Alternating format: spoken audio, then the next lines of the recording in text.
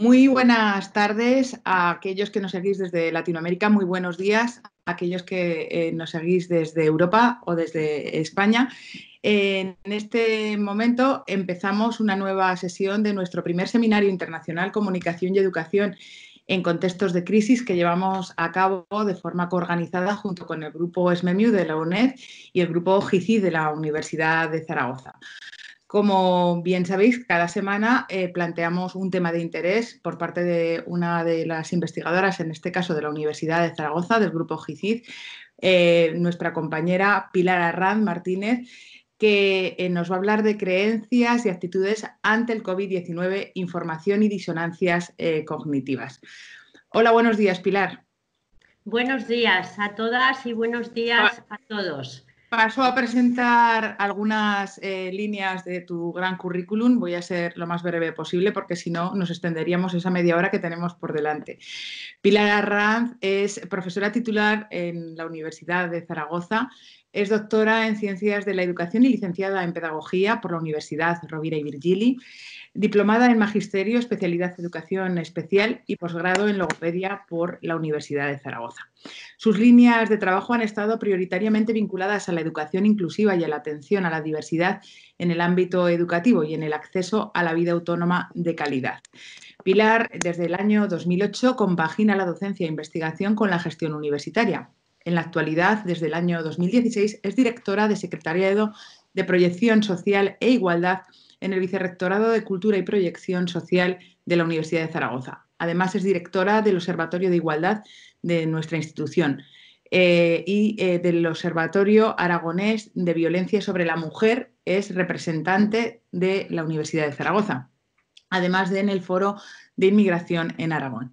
Y como he comentado al principio, eh, tenemos el placer también de que sea compañera dentro del grupo de investigación en comunicación e información digital GICID eh, de la Universidad de Zaragoza.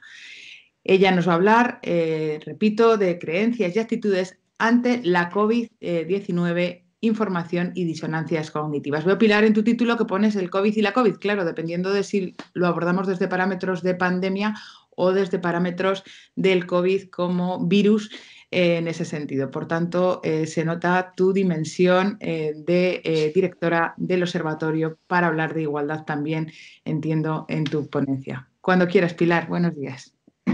Buenos días, gracias Carmen. En primer lugar, respecto a poner el masculino y el femenino, como tú hacías alusión, ¿verdad?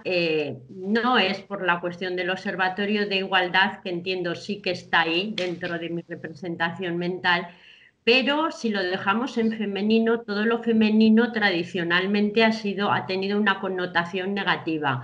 Entonces, aunque a muchos eh, políticos, estos modernos sobre todo, les gusta decir la COVID, pues mirad, yo en este caso prefiero el COVID-19, ¿eh? pero no obstante he querido dejarlo. Y también eh, expreso que tras esta anécdota, que quizá en algunos de ustedes pues ha supuesto una cierta disonancia cognitiva el verme con una mascarilla. Si estuviésemos en, directo y en persona, posiblemente habríamos tenido que llevarla todos. Y bueno, no ha sido más que un pequeño juego, ¿verdad? Por el que pues algunos de, de los que están ahí pensarían que Pilar iba a ser capaz de dar una conferencia virtual con una, con una mascarilla. Es muy grato encontrarnos de nuevo en este primer seminario eh, organizado conjuntamente por GICIT y por el SMEMIU, dos grupos de investigación que sí que quiero subrayar antes de empezar, que compartimos tantos intereses, valores e creencias subjetivas, pudiendo, por supuesto, discrepar como lo hacemos, pero yo siempre desde el más profundo respeto y también afecto dos características que a mi juicio expresan de una manera preclara las relaciones entre los profesionales que conformamos ambos grupos de investigación y me atrevería a decir que también entre muchos de los invitados que semanalmente nos van acompañando. Estamos a fecha 22 de mayo y continuamos en plena coyuntura pandémica COVID-19 con matices en función del continente, en función del país, e incluso de la propia localización geográfica. pero en cualquier caso, sin haber podido dar solución a esa situación de limitación de movilidad y de relaciones, sobre todo de relaciones personales, que a mediados de marzo se preveía para dos semanas y que tantas disonancias cognitivas está ocasionando. Estimo que si en aquellas fechas, primeros de marzo, 9, 10, 12, 13 especialmente, nos creó estupor la posibilidad, como así fue, de tener que permanecer aislados lo más posible durante 15 días, las informaciones y las medidas posteriores, algunas anunciadas y después rectificadas, ¿verdad? Como ha ocurrido con bastantes, pues han hecho tambalear en muchos momentos nuestras creencias más profundas, nuestro sistema de valores y en suma nuestras representaciones mentales acerca de cuestiones y, de ámbitos sobre los, que teníamos, no me atrevo a decir eh, que los, mantengamos todavía, pero sí que teníamos unas sólidas teorías, creencias y actitudes. Me atrevo a poner como ejemplo pues, nuestras creencias acerca de lo que podían ser eh, pues, los medios con los que cuenta la sanidad pública, lo que implica una educación de calidad en todas las etapas, eh, las consecuencias positivas o negativas de la deslocalización de distintas empresas, el valor de la presencialidad en el trabajo, las ventajas e inconvenientes de una sociedad más digitalizada, de un espacio digital, de una escuela, de una universidad más digitalizada, el valor de la naturaleza, pero incluso otros aspectos más importantes como pueda ser la preparación de nuestros gobernantes o la honestidad o no del poder y de los poderes. Y en esta coyuntura eh, entiendo que conviene apuntar entre otros elementos pues una serie de influencias. La influencia de los medios de comunicación y de información, una información buena, mala, interesada, manipulada, la que sea.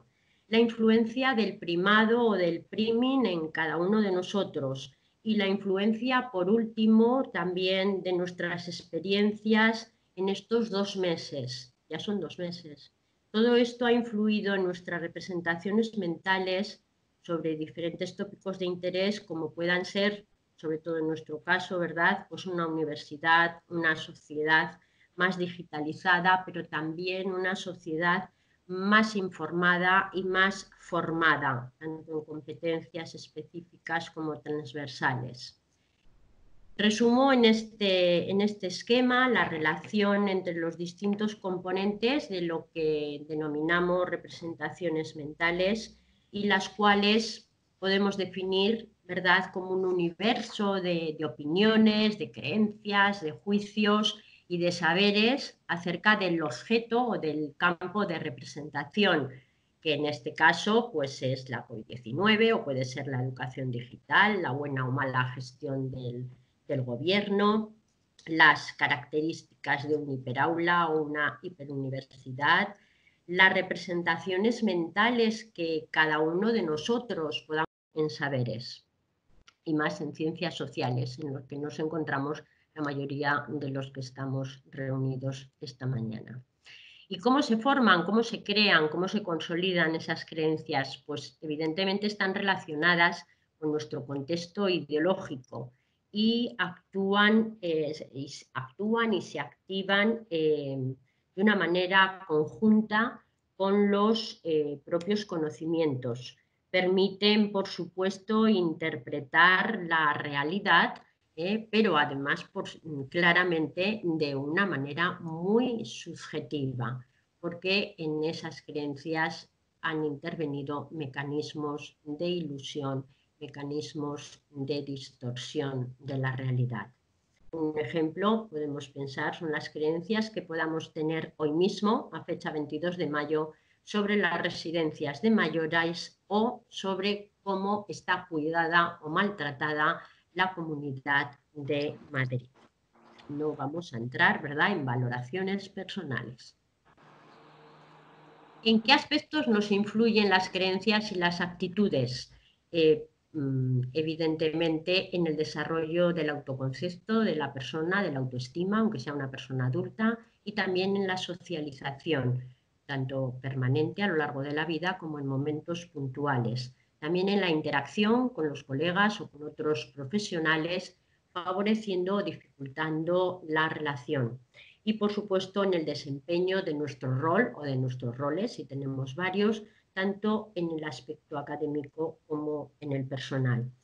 Lo más relevante desde mi punto de vista en este sentido, llegados a, este, a este, punto, es, es que las creencias y las actitudes se pueden modificar, por supuesto que se pueden modificar, no es muy fácil, ¿eh? hay unas resistencias clarísimas, pero sí que como investigadores, como profesores universitarios, la mayoría, como formadores, algunos de nosotros, y más en el caso también de la formación de formadores, resulta pertinente tener en consideración que algunas actitudes eh, pues pueden resultar poco adecuadas desde el punto de vista moral, que ya sabemos que también es una subjetividad, pero desde el punto de vista ético.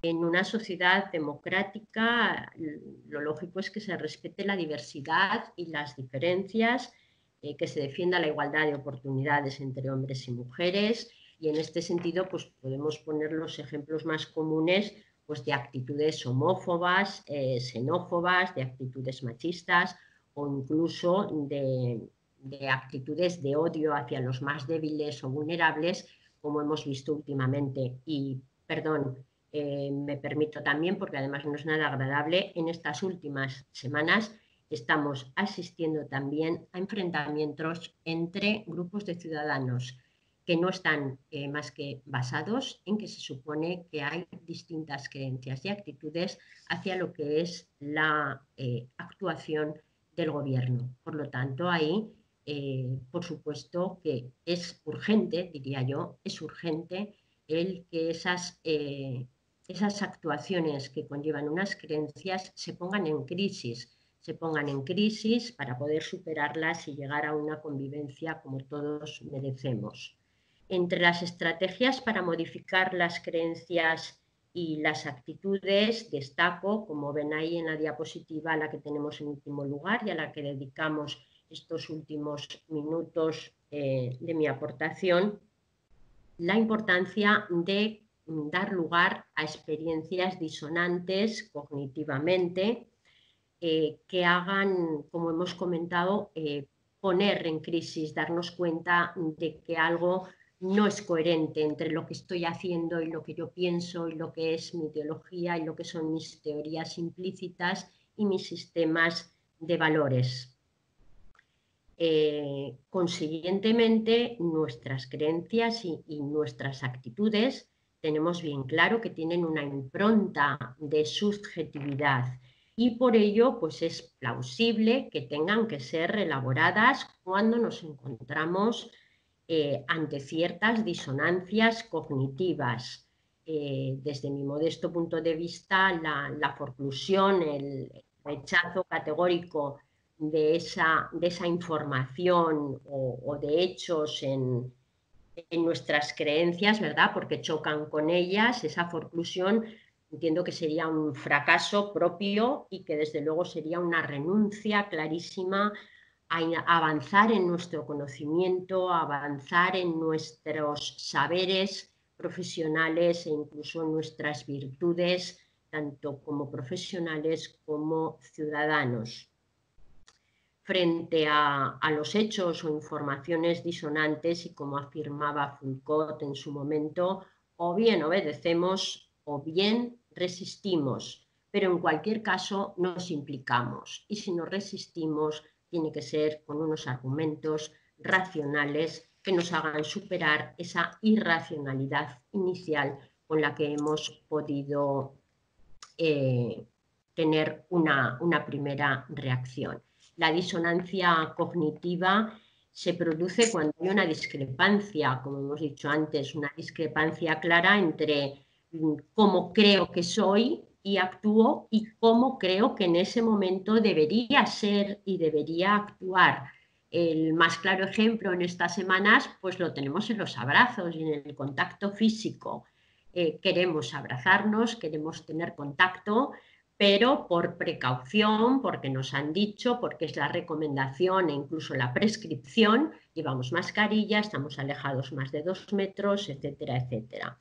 La disonancia cognitiva, por supuesto, este, este ejemplo clarísimo, genera una incomodidad, genera un rechazo. Y esa actuación eh, entra en conflicto con mi pensamiento, con mi creencia de la importancia de los abrazos, del contacto, etc. Y ahí necesitamos, necesitamos todo reequilibrar, porque no podemos vivir mm, mucho tiempo, yo me atrevería a decir que muy pocos días, con disonancias cognitivas importantes, porque tiene un componente de activación fisiológico pues como ocurre con la sed y con, con el hambre incluso. Eh, recordemos que durante el confinamiento algunos de los datos que se han proporcionado es que un 19% de los españoles ha sentido ansiedad durante la etapa solo de confinamiento. Un 22% ha expresado síntomas de depresión además de que se ha exacerbado ciertas inseguridades entre adolescentes y chicos jóvenes, que es un aspecto este muy interesante. Hemos observado cómo a partir de la desescalada hay muchos niños y adolescentes que todavía tenían muchas reticencias a salir de casa. Algunos reconocidos psicólogos plantean incluso que podemos vivir hasta en una disonancia cognitiva continua, y que entonces lo que deberíamos hacer es cuidar de nosotros mismos y aprender a vivir. Eh, hay un aspecto eh, fundamental, ¿verdad? Eh, y es que requerimos de, los, requerimos de los demás para la propia percepción de nosotros mismos, porque somos con los demás. en un estudio de disonancia, en un estado perdón, de disonancia cognitiva, eh, yo me atrevo a decir que solo podemos atender las sensaciones y las emociones que en ese momento nos inundan, porque nuestra capacidad de razonamiento está bloqueada. Eh, por eso el manifestar que podemos estar viviendo en una continua disonancia cognitiva implicaría que estamos viviendo en estas semanas en un bloqueo cognitivo no voy a ser pesimista. Aquí está, ¿verdad?, el optimismo de la voluntad. Si verbalizo esas sensaciones, esas emociones, las repercusiones eh, psicológicas, activo-emocionales van a ser mucho menores. Por eso la importancia de hablar, de hablar con el otro, de hablar con los otros, con las otras, de compartir emociones y sensaciones. Y es que a través de la verbalización damos sentido a lo que nos sucede eh, ese relato ordenado me ayuda a delimitar y nos ofrece un lugar también desde el que, a mi juicio, se puede afrontar mucho mejor una percepción disonante y reflexionar de un modo menos subjetivo. También considero eh, relevante y oportuno ese diálogo consigo mismo, esa reflexión acerca de lo propio, esa autorreflexión podría dar lugar también a, cambiar mi punto de vista, a cambiar nuestro punto de vista, nuestra actitud e incluso una convicción que teníamos como muy sólida. Pero sin duda, y aunque me atrevo a aseverar que convivimos en un espacio político y social, eh, pues también hay que descubrir y mimar el, ámbito de lo propio, muchas veces lo hemos dejado de lado, y primero ser capaces de convivir bien con nosotros mismos para después convivir bien con los demás. Eh, y ya para finalizar, eh, a riesgo de, haber superado el tiempo, he intentado ir muy rápida, eh, sí que me he permitido, al menos que aparezcan en la presentación, unas, vamos, unos pequeños ejemplos, unos modestos ejemplos, por no hacerlo más extenso, pues de informaciones. Unas de ellas eh, pues proporcionadas por el Gobierno de España, algunas de las cuales pues, han ocasionado notables disonancias cognitivas en parte de la población o en grupos eh, concretos de la misma. Si vemos aquí esta pequeñísima cronología, este ejemplo de cronología, ¿verdad? Desde el 15 de enero hasta el 20 de mayo, pues podemos ver lo, eh, casi me atrevería a decir, lo bárbara que ha sido esta, esta evolución, ¿verdad?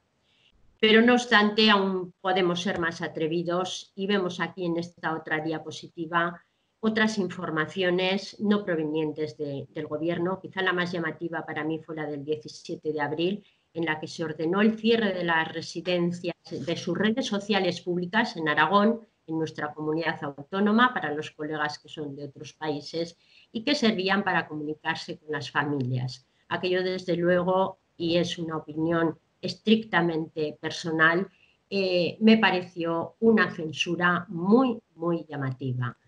El último ejemplo es el de las mascarillas, que incluso han estado desaconsejadas, posiblemente porque era imposible poder disponer de ellas para todos los ciudadanos y que desde ayer 21 de mayo son obligatorias para todos.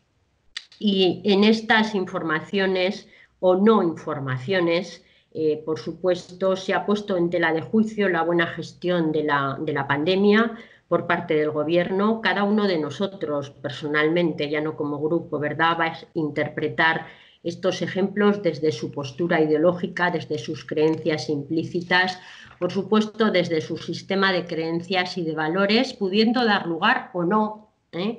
a otra disonancia cognitiva que convendrá resuelva ¿eh? para no caer en contradicciones nuevas. Eh, hoy se necesita, desde mi modesto punto de vista, una reflexión sobre nuestras eh, representaciones mentales y las consecuencias que han tenido y que están teniendo en esta pandemia. Y, por supuesto, todo ello en aras de una convivencia ciudadana, de, una superación no de esta crisis, sino de estas crisis, ¿verdad?, con las que convive ya la crisis sanitaria en todas ellas nos encontramos ya inmersos y desde luego eh, no vamos a ser en absoluto pesimistas, estamos con el optimismo de la voluntad y desde luego de voluntad disponemos eh, y eh, entiendo que vamos a salir muy fortalecidos. Muchas gracias eh, por haberme escuchado y quedo, por supuesto, a disposición de ustedes para las cuestiones en las que quieran, pues bueno, comentar, discrepar, por supuesto, que estamos en ciencias sociales y que puedan enriquecer ustedes eh, esta, esta modesta aportación. Muchísimas gracias a todos. Muchísimas gracias, Pilar, por tu interesante alocución, por todas tus reflexiones, por ese sustrato también eh, dogmático basado pues, en toda tu eh, sapiencia y de toda tu trayectoria. Antes de pasar a mm, decirte todas las felicitaciones que ahora mismo están ya surgiendo en el chat y también alguna que otra pregunta, me gustaría plantearte, has hablado de tres eh, posibles pilares, el campo emocional, el campo cognitivo y el campo conductual. Y dentro de esos tres grandes parámetros, como eh, las actitudes, no sé si... Y así los compañeros, por si acaso, como he puesto quizá demasiadas diapositivas, disculpadme. ¿eh? Gracias, Pilar. Me, gustaría preguntarte, no sé si se escucha bien. Eh, Yo te escucho bien. ¿Me escuchas bien? Por favor, deja de compartir pantalla mejor. Muy bien. Gracias.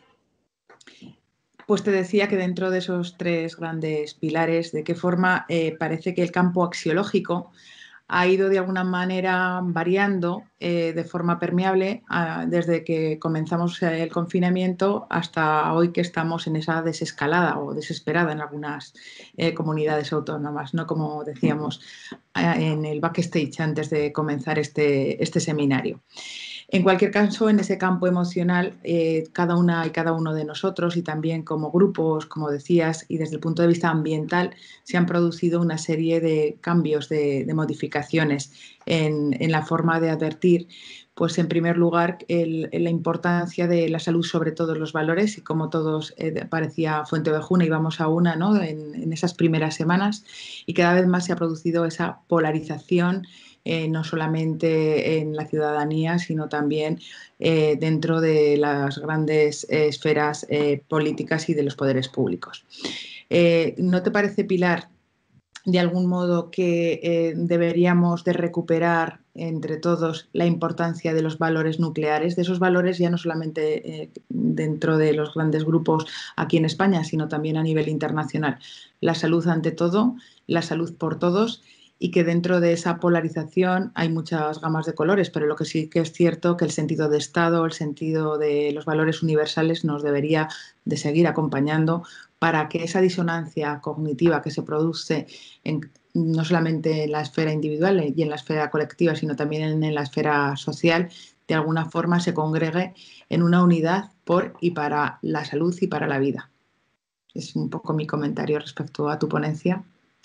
Es tu comentario, es tu reflexión y entiendo que es tu invitación y me parece, me parece muy pertinente y en ese sentido, pues quizá eh, soy muy optimista en el sentido de que la ciudadanía está muy por encima muchas veces eh, de sus gobernantes, del nivel de sus gobernantes.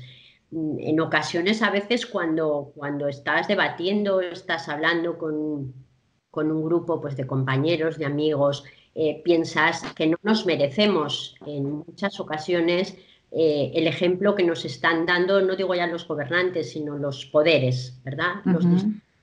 los, distintos poderes. En estos momentos creo que por encima de nuestros gobernantes e incluso de distintos poderes, ¿eh? no hablo ya de poder, sino de poderes, y, bueno, pues la, confianza en que la ciudadanía internacional, al menos a nivel europeo, eh, no, no, porque ya un sentido peyorativo respecto a, Latinoamérica o Estados Unidos, etcétera, con tal que nos organizásemos bien en Europa, ¿verdad? Ya podíamos estar muy satisfechos.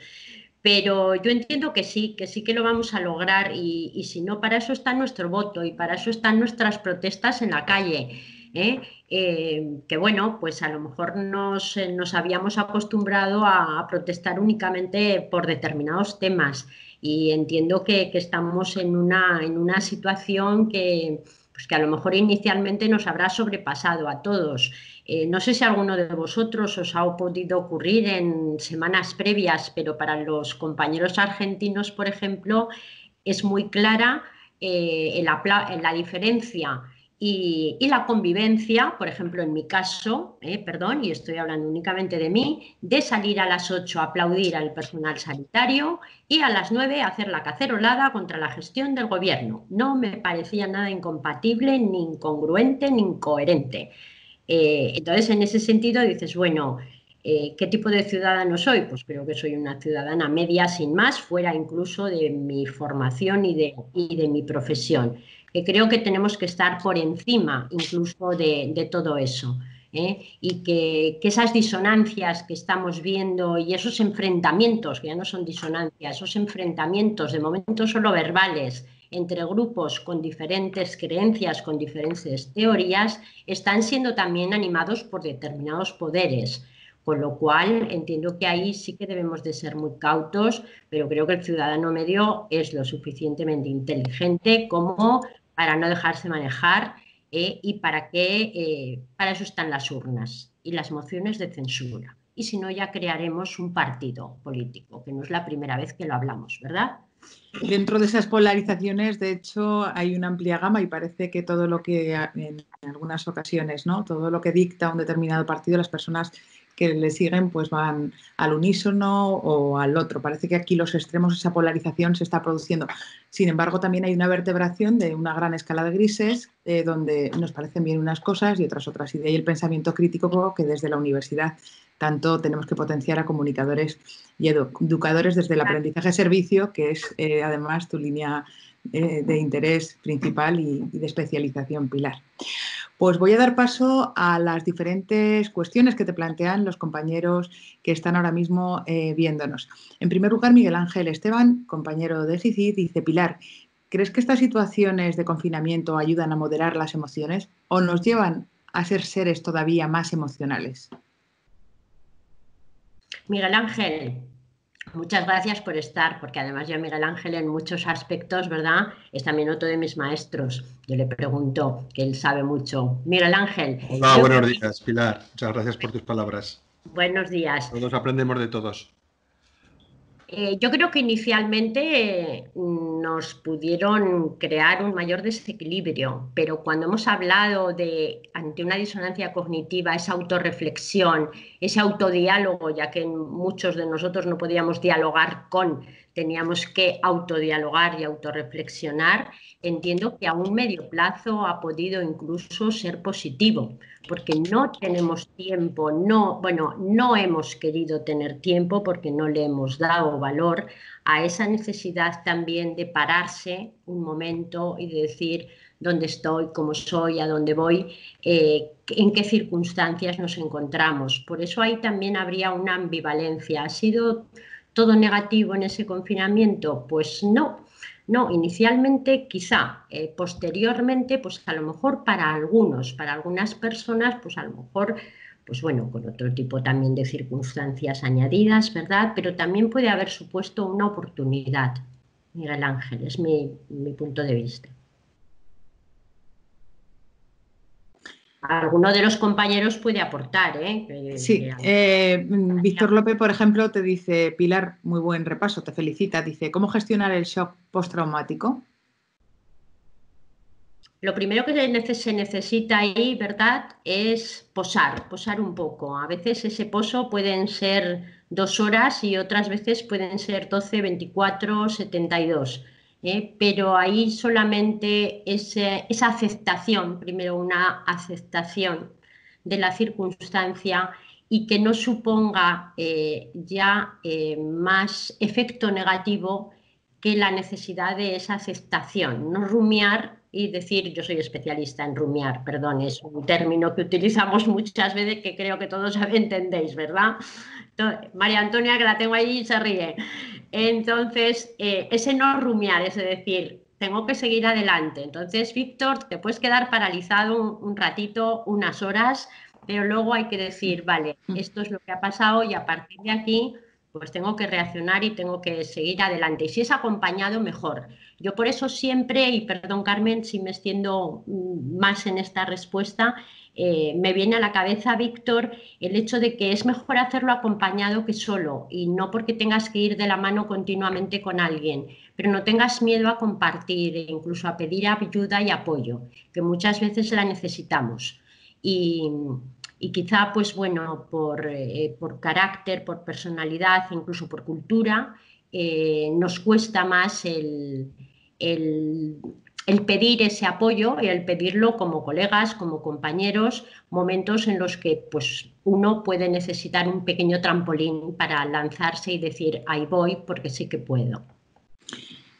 Muy bien, Pilar. Eh, mira, te felicitan también María Antonia Solans, dice estupendo, Pilar, muy interesante. Susana, desde Buenos Aires, nos dice muchas gracias, Pilar, excelente presentación.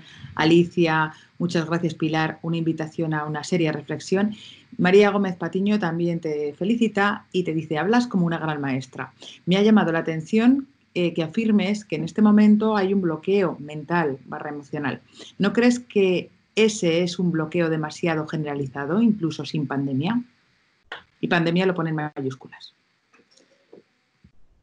Pues sí, a lo mejor no, no le podríamos denominar claramente bloqueo, eh, pero sí que nos hemos centrado en aspectos que a lo mejor no eran tampoco los más relevantes y nos han hecho también eh, pensar y parecer que debíamos de centrarnos en otro tipo de cuestiones como muy cotidianas y ahora se ha descubierto que son mucho más triviales de lo que, de lo que parecían, ¿verdad? Y quizá hemos descuidado, hemos dejado un poco de lado, no sé si inducidos o no, tampoco me atrevo a decir que seamos marionetas al 100%, es una de las reflexiones que yo muchas veces me hago, ¿no? ¿En qué porcentaje estamos eh, manipulados? Eh, pero, pero sí que me atrevería a decir que, que por nosotros mismos sí que posiblemente eh, hayamos podido en este momento, eh, pues bueno, plantearnos que quizá estábamos muy bloqueados en algunos aspectos, que, no estábamos dando importancia a lo que a lo mejor en nuestra vida, tanto personal como profesional, por supuesto, eh, pues podía, tener una mayor relevancia. Elena Vandrés, por su parte, también compañera de GICID, te da su más cordial enhorabuena y dice eh, que te pregunta, eh, dentro de tu optimista versión, cómo las contradicciones eh, personales y políticas nos afectan en esta situación. Dice, quería preguntarte si consideras que esta disonancia cognitiva tiene solución en cuanto a que hay muchas personas que toleran la mentira comprobada a tener que enfrentarse a una realidad que transgrede sus propias creencias. Elena, como, buena analizadora, ¿verdad?, ha, puesto ahí la atención en un aspecto clave y muy preocupante. Elena, a mí me gustaría decir que sí, que sí que lo van a, lo van a hacer, que sí que se va a conseguir. Eh, esperémoslo por el bien de toda la ciudadanía. Mm, por eso antes decía, bueno, para eso están a veces los votos, ¿no? Las mociones de censura porque realmente, como creo que he dicho también anteriormente, a veces tenemos políticos que no nos los merecemos, ¿eh? pero por malos, no por buenos. ¿eh?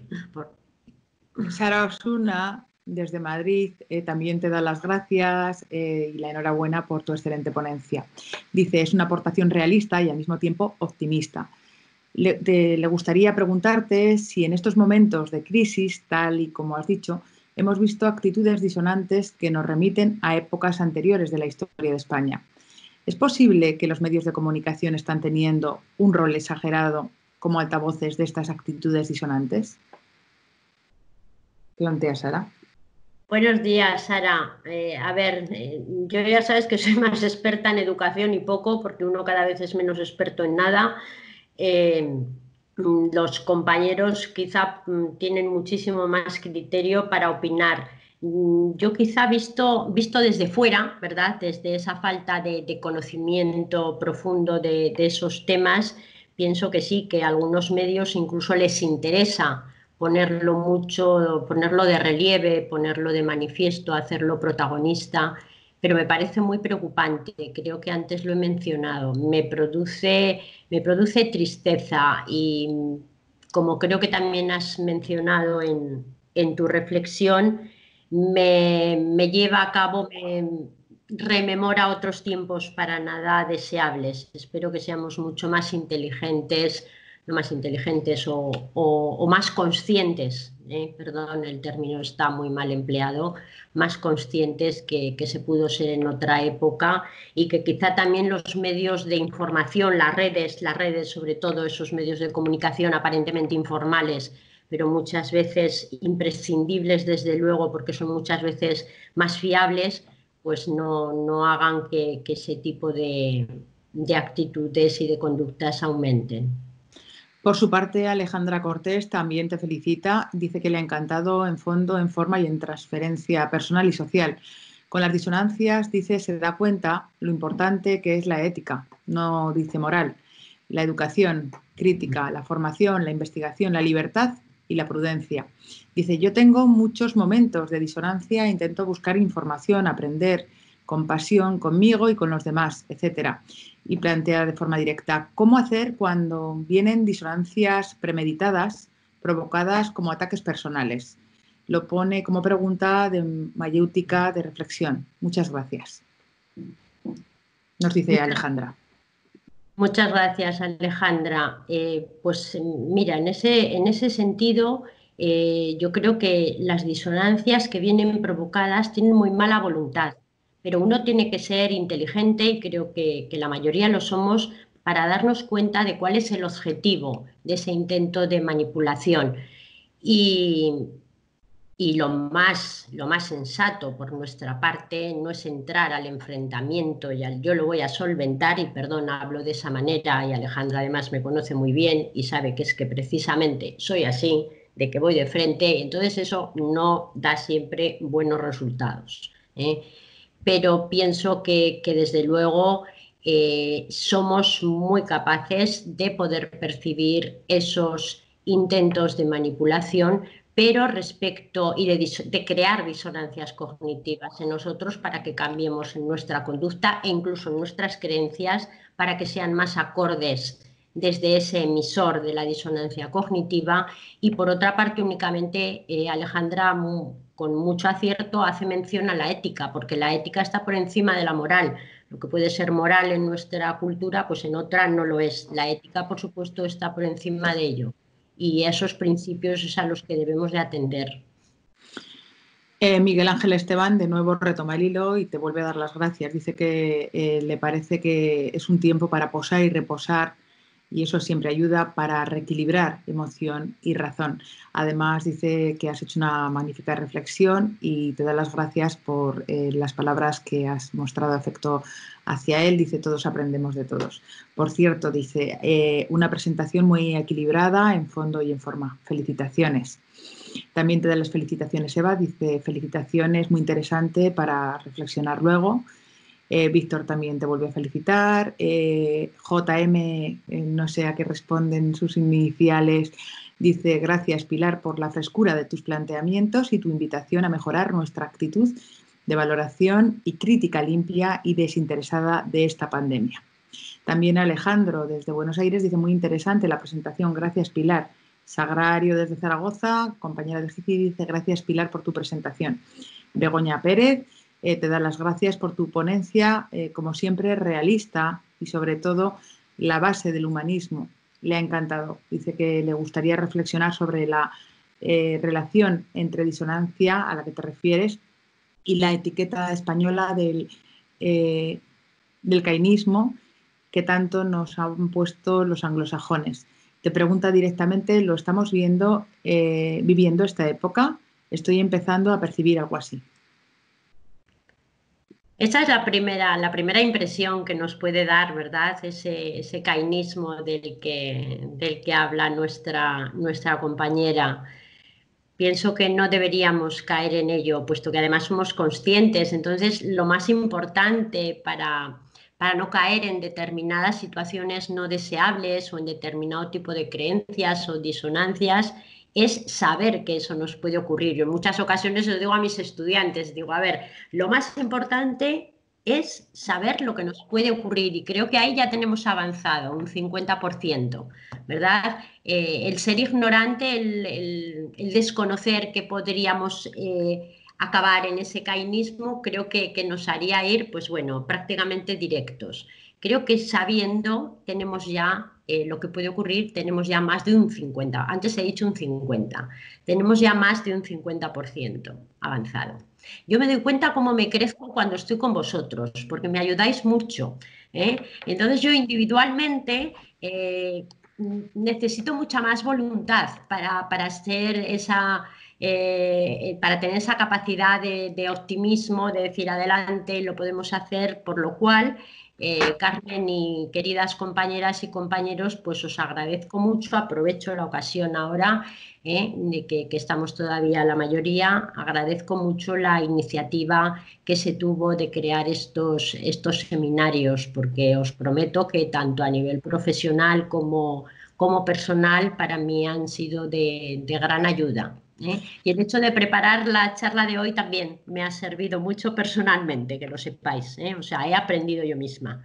Pilar, lo cierto que es la fuerza de ese factor relacional ¿no? que tenemos en, nuestro grupo, que nos hace un poco singulares y que hace que no seamos una o uno, sino que seamos todos y todas quienes nos retroalimentemos cada semana. Y, y la verdad es que esa idea que surgió un poco entre, entre los colegas del grupo bienvenida ha sido y sobre todo bien proyectada porque nos ha mantenido vivas y vivos semana tras semana.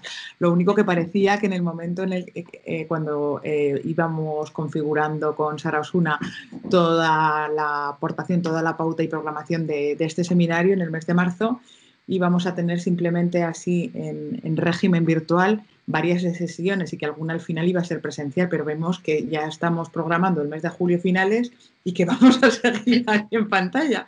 Esperemos que haya alguna presencial al final, si es posible.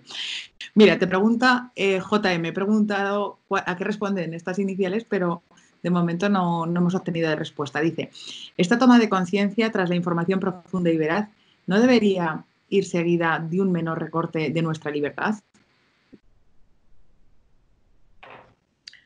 Hablando de recortes para libertad, eh, los que estamos aquí somos capaces, entiendo sin ningún problema, de levantar el dedo y decir somos responsables. Alejandro, también te veo. ¿eh? Nuestros colegas argentinos también dicen yo levanto la mano, yo soy hiperresponsable, ¿verdad? Nos llamaba mucho la atención cuando en esos días de compra en los que había que estar confinado, las personas que iban al supermercado se aproximaban más que otras, unas más que otras, etcétera eh, nos eh, molestábamos mucho en estas dos pasadas semanas, en esas horas de paseo en las que coincidimos todos, porque es que, claro, España no es un país superhabitado, pero es que somos muchos y no nos dejan salir de la ciudad.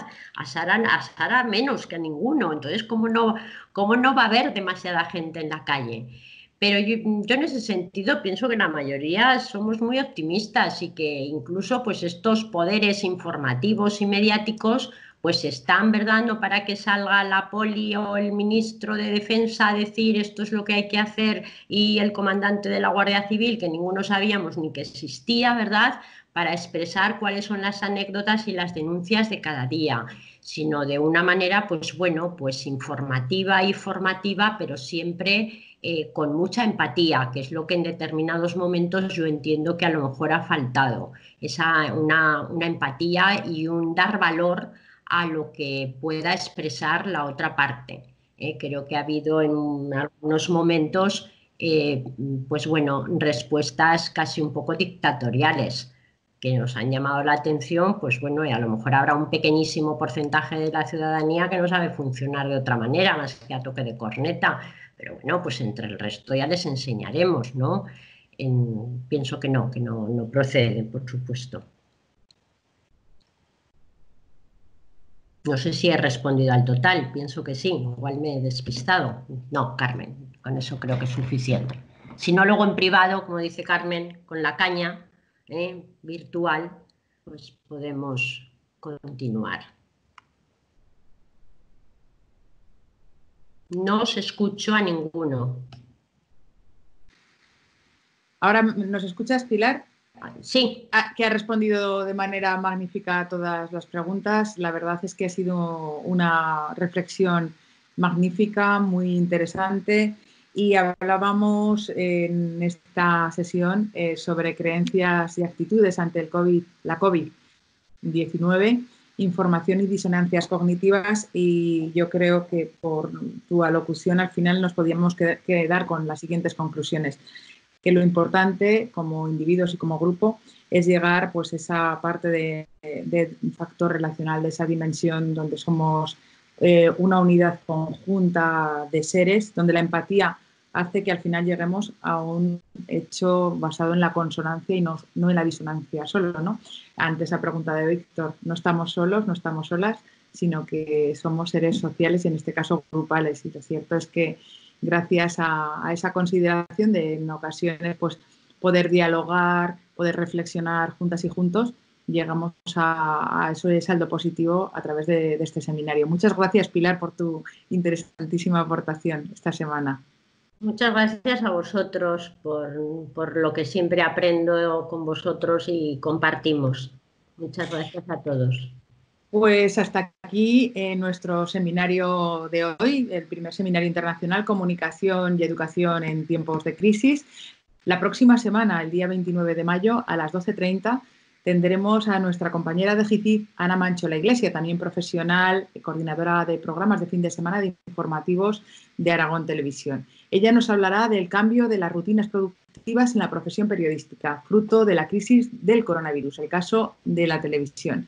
Muchas gracias a todas y todos por asistir y participar en este encuentro, en este seminario. Esperamos también que aquellos que nos veáis a lo largo de las, distintas semanas siguientes en nuestro canal eh, de YouTube del Grupo de Investigación GICIT y Desmemio os resulte de interés. Nos vemos en la próxima semana.